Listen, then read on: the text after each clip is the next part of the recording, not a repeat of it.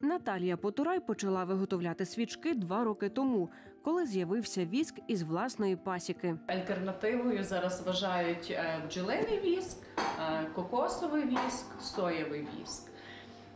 Коли я почала глибше цим питанням цікавитися, для себе я зробила однозначний висновок: лише бджолиний віск. Бджолиний віск, каже Наталія, натуральна речовина, тому майстриня впевнена у якості матеріалу. Я переконана на тисячу відсотків, що єдиний е, нешкідливий віск і той, який приносить користь, це саме бджоли.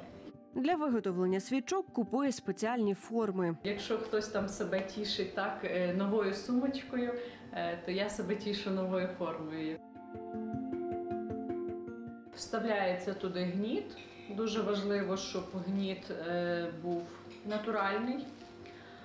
От, тому що коли буде нитка ця штучна, десь якісь будуть домішки, ну, ненатуральності, тоді і буде і кіптява, і поганий запах. Форми фіксує звичайними канцелярськими гумками. Я її фіксую для того, щоб коли я буду наливати віск сюди, щоб віск не, не розлявся, а зміг застигнути там. Віск повинен бути відповідної температури, якої саме майстриня тримає в секреті. Щоб віск не перегрівся.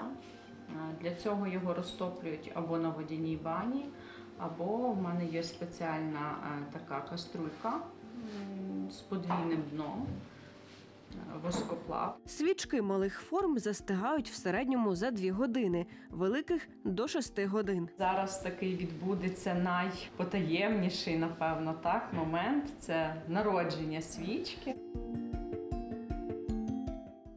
Наліт на свічці ознака того, що віск натуральний, розповідає Наталія.